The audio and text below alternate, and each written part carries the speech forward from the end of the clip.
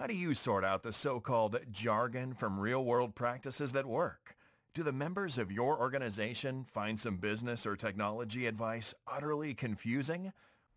Welcome to Real Talk with Sam Holcman.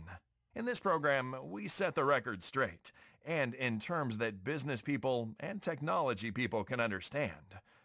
Now, here is your host, Sam Holcman. Welcome to this edition of Real Talk. I'm Sam Holcman. Thanks for joining me. And uh, today's topic is setting up your individual artificial intelligence safe sandbox. Well, what does that mean? Uh, what we have learned, and uh, I don't know what your experiences are or your organization's experiences are, is when it comes to the world of artificial intelligence right now and all of the technology issues that are out there, cybersecurity, cyber uh, issues, intellectual property theft, all of these other things. We've decided that what we need to do is to recognize that virtually nothing, nothing right now is really, really, really secure and safe. And so I went back to some of the work that we've done with uh, some high secure organizations and recognized that what right now what we need to do is to spend, you ready for this? $104 plus tax, plus $40 a month to build a very safe, very safe sandbox for artificial intelligence. Now, what do I mean by that? So what we did was we went out and uh, purchased for $104 US a, a uh, Dell desktop computer. I want to tell you the brand. Uh, 16 gigabytes of RAM, 500 gigabyte hard drive, uh, DVD, 19-inch LCD screen, wireless keyboard and mouse, $104. Why? Because the next thing we're going to do is to uh, connect that to a different internet service provider and uh, that's costing us $40 a month. It's completely separating our production world, completely different computers, different internet service provider, absolutely isolating this second computer from our production activities. And we're calling that our artificial intelligence sandbox. So for $104 plus tax for the hardware and approximately $40 a month for a 300 uh, meg relatively high speed internet connection, we feel extremely secure. Of course, on top of that, all of the sign-ins we're going to do and all of the interactions we're going to do with the AI engine will have zero identifiable information from our production environment. You know, as far as sign-ins and IDs and all these other things.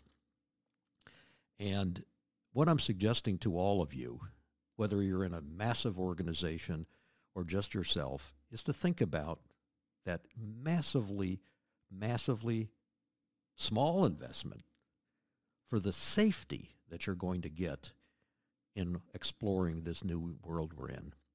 Plus, to be again pretty honest, I don't want anybody to know what I'm doing and even have a chance of getting into my personal information, company information, client information, and all these things that are going out there.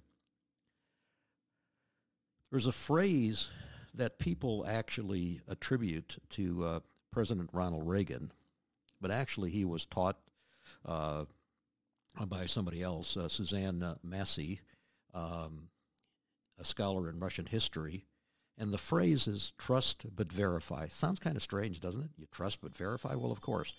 You're making the assumption that something's trustworthy, but you have to verify it. And in this world of AI and internet and all these other things that are going on, that is extremely difficult, if not impossible right now to do. So how do you address it? Well, we set up a second environment. And that's because just because it looks friendly just because it looks friendly doesn't mean it is.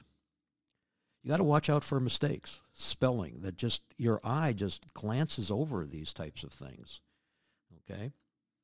And of course, with things that are hidden behind graphics and chatbots, you have to hover over some of these these you know things that look very safe and find out that there's actually some neck you know things out there that are, are could cause you harm.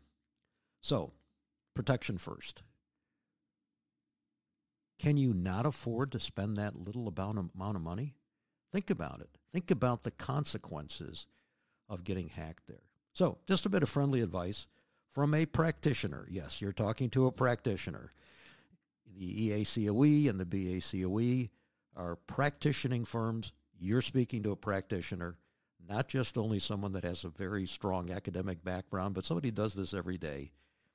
And until things get better in technology, and it's going to take some time, let's be safe rather than sorry. So in summary, can you afford not to spend about $100 and a few bucks a month to give you a safe playground? I hope this makes sense. Thanks for listening. Thank you for tuning in to Real Talk. Be sure to join your host, Sam Holcman, again for another edition of our program. We'll have more real topics of discussion then.